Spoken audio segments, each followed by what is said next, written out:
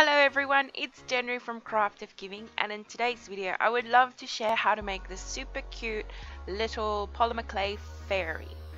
I started to create the fairy by creating the tree stump she's sitting on first by using a sheet of aluminium foil that I scrunched up really tight into a little stump shape and then covered it in polymer clay. This just allows your figure to be quite light and not clay dense and make sure that it's nice and supported. So scrunch your aluminium foil quite hard and compact it really tightly and then cover it in the color of your tree stump. I'm just using this nice little brown color and I just rolled it out thinly and then wrapped it around my aluminium stump and added a few bits of detail for the stump by drawing little lines across the sides of my stump. I then started with the fairy's legs. So I'm going to work from my bottom up and I rolled out a nice long piece of beige clay, making sure that the middle part of my little snake um, of clay was a bit thicker and then getting narrower towards the sides. I cut that piece of clay in half and then started to create the thigh by creating an indent behind the knee and then bending that knee down and creating the foot, adding a bit of detail and shape to the leg to create a nice feminine little fairy leg. You will need to do this for both pieces of clay so that you end up with two even sized legs for your fairy. I use my first leg as a guide where, for where the knee should be um, so that it's nice and even. Now you can be as detailed as you like with your legs. I just like to add um, a bit of shape with the thigh and then the calf going into the ankle and then the little foot. And then I added some further little details later on that I'll show you in a minute. Now to secure the leg a bit more, um, as the clay is quite thin, I'm just adding a little piece of wire that I'm just going to trim to size and then shove it gently into her foot up into her leg um, just to support the clay a little bit more as it is a thin piece of clay. So being careful, uh, make sure that you go nice and slow with this so that you don't accidentally stab through the leg. I used my tool just to push that into the foot even further and use my smoothing tool to just smooth out any marks.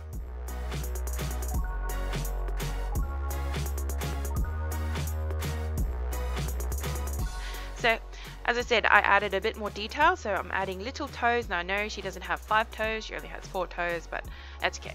So do this for both of your legs and then you can start to get creative in the position that she's sitting on the little stump. I'm going to make it so that she crosses her leg over the top of her right leg so that it looks nice and cute.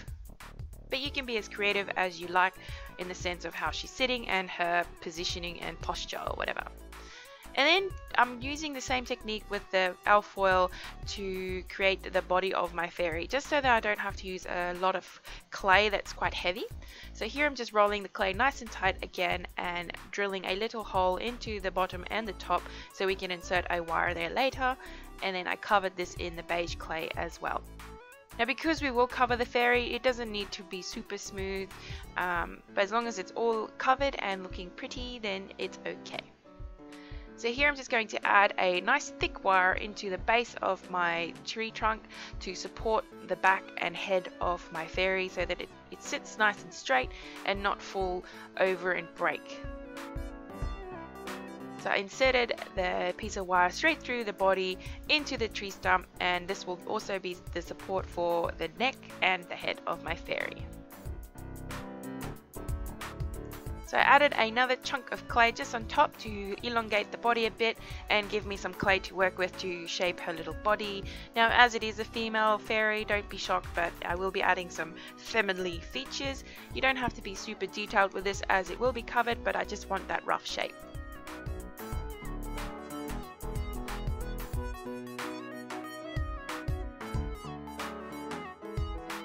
Here I'm just smoothing out any lines to create a nice smooth finish as I will be covering the top but I'd need it to be nice and smooth underneath but it doesn't need to be super duper perfect. I'm not spending a lot of time smoothing out the legs where the legs meet the body um, as it will be covered. So I'm just pinching that clay up into the neck to create a little neck around the wire and then starting to shape her feminine features. Um, just roughly it doesn't need to be super detailed as I said it will be covered but I need to have that shape on her body as it is a female fairy.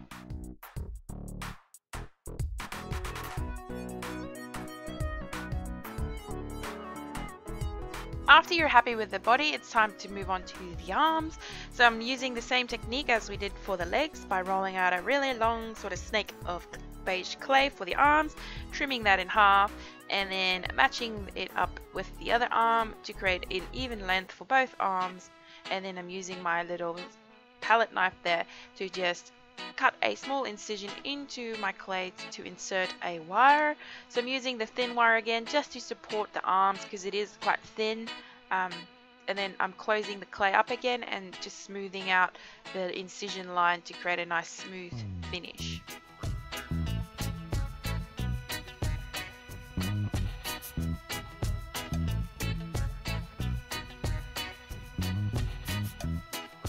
Quite careful with this process as the wire do tend to, um, it can move around inside your clay, so just be careful with that. So I started by bending my clay in um, into the arm and then the shoulder. Now because you're making two arms left and right, you need to do the opposites for each one so that you have your little hands and arms facing the right way rather than two matching ones. So be mindful of that. So I'm just shaping her little hand and wrist so I have a bit of shape in her arms. Now they are quite thin so just be careful. I left the wire a bit long so that I have something to stick into the body and then I used my smoothing tool to just join that um, up really nice and smooth. As you will see her shoulders, I wanted this to be nice and smooth. Make sure you do the same for the back of her um, arms as well to create a nice smooth finish and make her look really pretty. So I started doing some details on her collarbone too. It looks a bit funny right now, but just bear with me. It will be smoothed out later.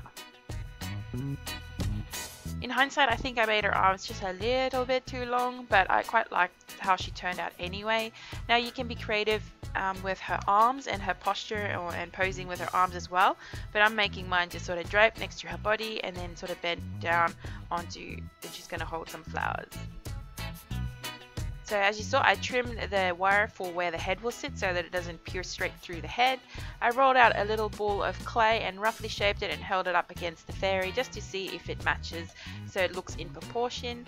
I added a weeny little nose. Now I decided not to add too much detail to her face one, I'm not very good at making small detailed fe feminine looking fairies faces. I'm good at doing the pixie faces because they, they all seem to turn out like men. But So I didn't really want to try too hard with her face. I just added a nose and she's going to have no face. So I added the head onto the body and I moved on to the arms again and just created little thumbs. Now because she's going to hold some flowers, I didn't really spend too much time with details on her hands as it will be covered anyway.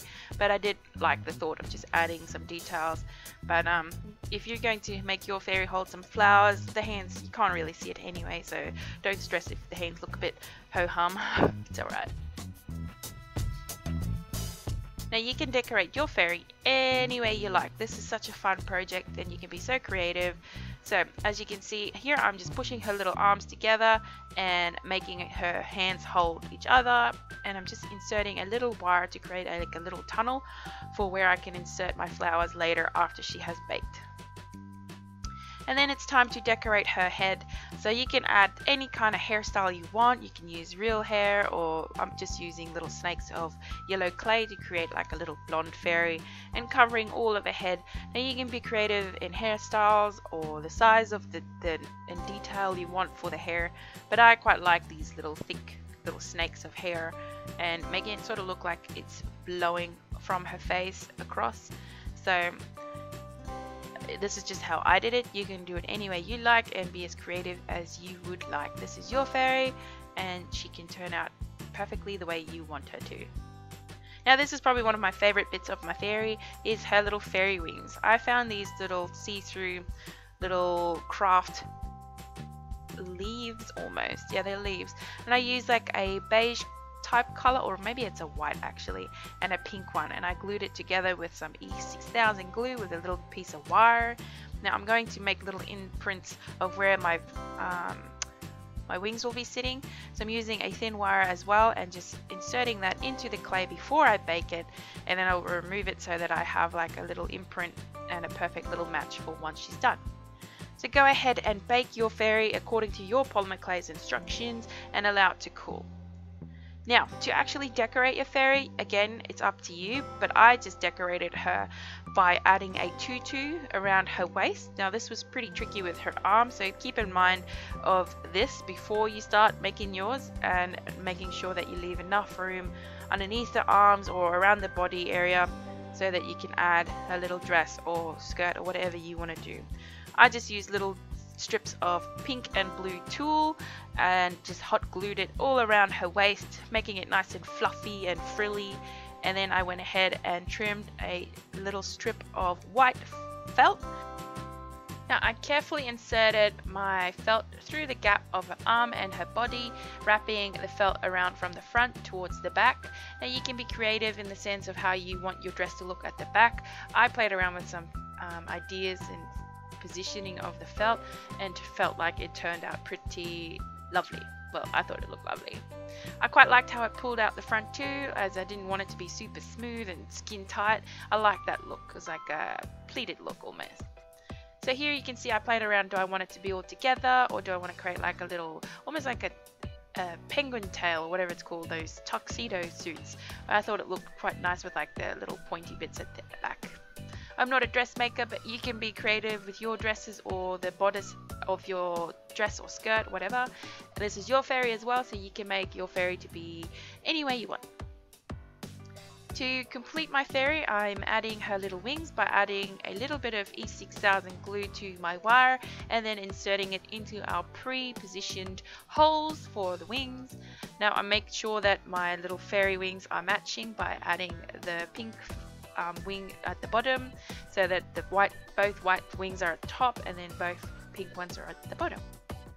Remove any excess glue and here I have my little flowers that I was talking about. This is just paper flowers that have these little wires attached that I just trimmed and twisted together to create like a little bouquet.